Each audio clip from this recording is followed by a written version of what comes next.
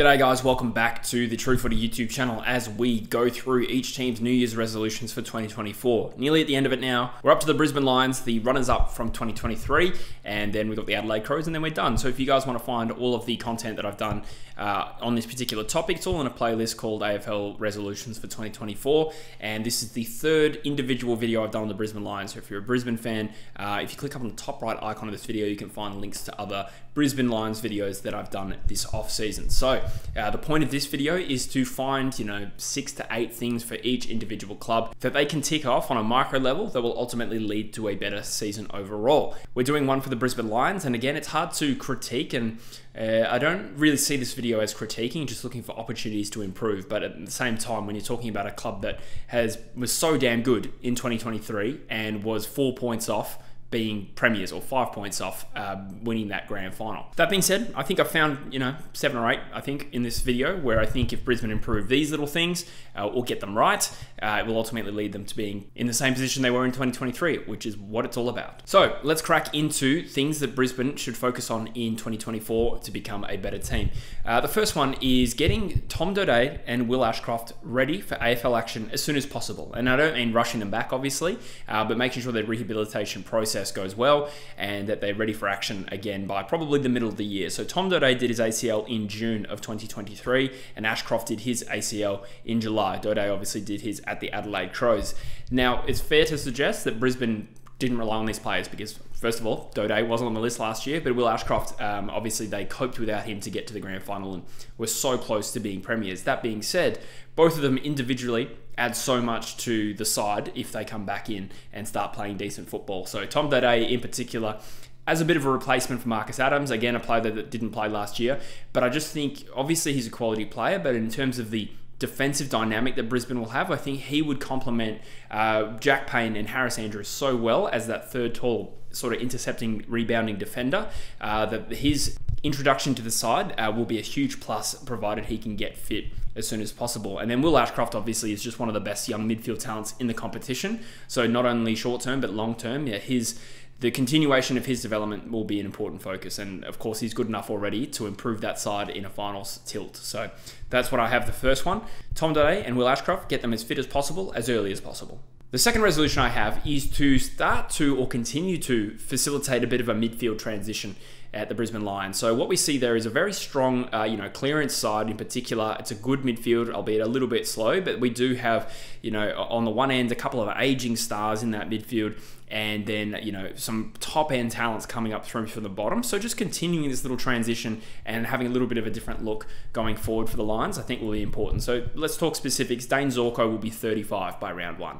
Uh, Lachie Neale's 30. He's probably not going to be retiring anytime soon. There's Jarryd Lyons who's already on the outer for sure. And like I said, it's a pretty strong midfield. It performs well. It's a little bit slow. So that being said, you know players they can give increased exposure to over time. One of them is obviously Will Ashcroft, who we talked about. Jasper Fletcher, I think, as well, getting a good look in there. Doesn't have to play serious midfield minutes, but taking a little bit more of the slack than he did last year. And then there's someone like a Deven Robertson as well, who's in this side and pushed to a little bit more of a defensive role. Does he take more stoppages? Uh, just an example. But I think Brisbane will have one eye on, on the future iteration of what this midfield looks like.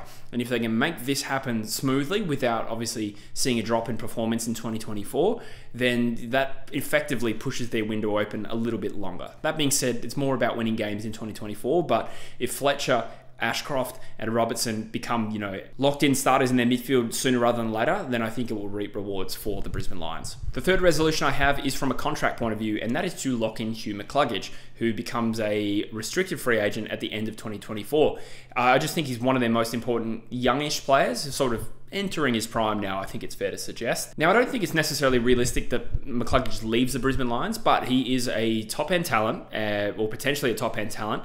He is from Victoria originally, and as a free agent, he's just going to garner some interest. So naturally, I think this is going to be a big focus for them. He's their biggest fish that's out of contract this year. Jarrod Berry is probably the other one that might get some interest from Victoria. So from a list management point of view, this is their big, biggest priority this year. In addition to getting enough points for Levi Ashcroft, that should all work out. Sam Marshall's another one they'll add this year. But securing the signature of Hugh McCluggage at some point during 2024 will be a huge priority for the Lions. The next point is I've obviously labeled it as a resolution, but it's kind of more about you know cultivating an advantage they already have, and that is to remain a top two scoring side, which is what Brisbane were in 2023. So it's easy to see where the goals come from. Joe Daniher kicked 61 goals this year from 26 games. Charlie Cameron had an amazing year as a small forward. Super consistent player. I always talk Charlie Cameron up, and for good reason. But he kicked 56 goals as a small. Then you got Hipwood with 41. Even Zac Bailey, who kicked 29. That's a very solid return from like a, a medium-sized high half forward who can play on ball as well. You know, there, there's a lot of contribution, a lot of even contribution from this team.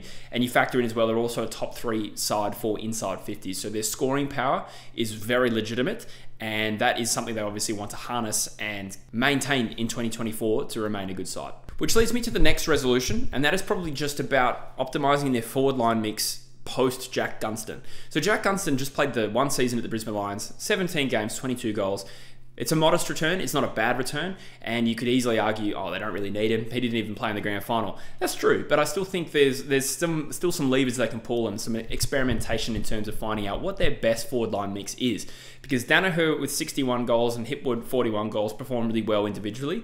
Uh, that being said, could they use another third tall target? in that forward line. And the two options that I see are Logan Morris, who they just drafted uh, in the second round of 2023. Brandon Ryan, they just traded in from the Hawks as well. Both of them are going to be pretty raw, but be interesting to see them just just play with that a little bit. I think the best case scenario is young Logan Morris comes in and performs better than expected in his first year, because I would like to see a third 190 centimeter plus forward in that team.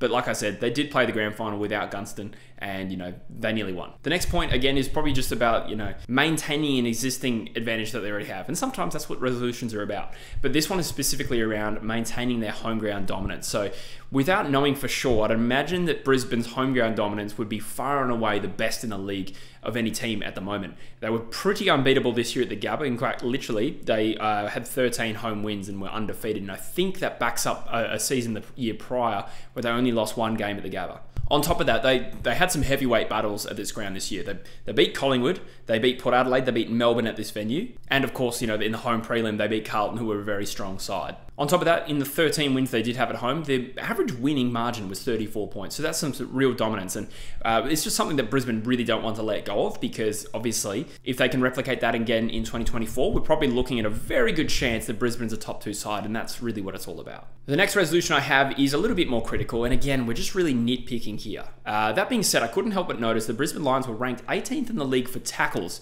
in 2023, which uh, which is just a mind-boggling stat when you consider how good they are as a team. They also had the second least amount of disposals. So I also looked at that and I thought, you know, if they're ranked 18th in the league for tackles, it's probably just because they're so good that the opposition team doesn't have the ball. But that's not that's not quite true. They were second least in the league for disposals, which is just crazy to me. Now, looking into this a little bit deeper, there is actually not a very strong correlation between good teams and having a lot of disposals. Like the the bottom six or so was kind of mixed around. I think Port Adelaide even had the least amount of disposals and were obviously a good team last year. That being said, there is a bit more of a correlation between teams that don't tackle well and teams that don't finish high on the ladder. So my point here being is this is probably one stat it's fair to suggest Brisbane could improve in.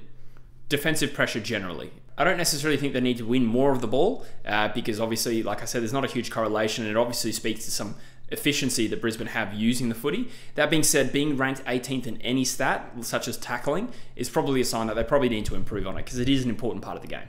And the final resolution is the most redundant one, and that's why I saved it for last, and that is just get an extra win next year. They were so close to being premiers in 2023 that coming up with reasons of why they didn't win the premiership feels almost a little bit redundant. Obviously, I'm just pointing out things that they can improve to become a better side, and that is part of staying at the top of the ladder is to improve on your weaknesses. It's not about uh, just being the same team each and every year. That being said, they were just one Bobby Hill away from being premiers in 2023. So uh, I guess the what I'm really saying here is that their expectation, their goal this year has to win the flag. You know, they've incrementally improved. They've they've made finals. They started losing finals, but they were making them. Then they started winning finals. Then they won a final away from home. They got better at the MCG. They've slowly ticked all these little boxes. So the last one left is simply to win the premiership. So again, bit of a lame one, but I think it's fair to suggest that's Brisbane's expectation this year is to at least be in the grand final and give themselves a chance to win it.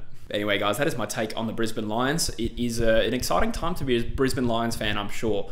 Uh, not only are they a good team now, but with the talent coming into this list, there's no real sign that this uh, this little premiership window they've got is going to end anytime soon. So um, good on you. It must be nice coming from an Eagles fan. Uh, it's been a while since I felt that way about us. That being said, I enjoy your input, guys. So let me know in the comments anything you disagree with or agree with in this video. Add some resolutions of your own, and I really appreciate you watching. So I'll say goodbye for now, and I'll see you in the next video. Cheers.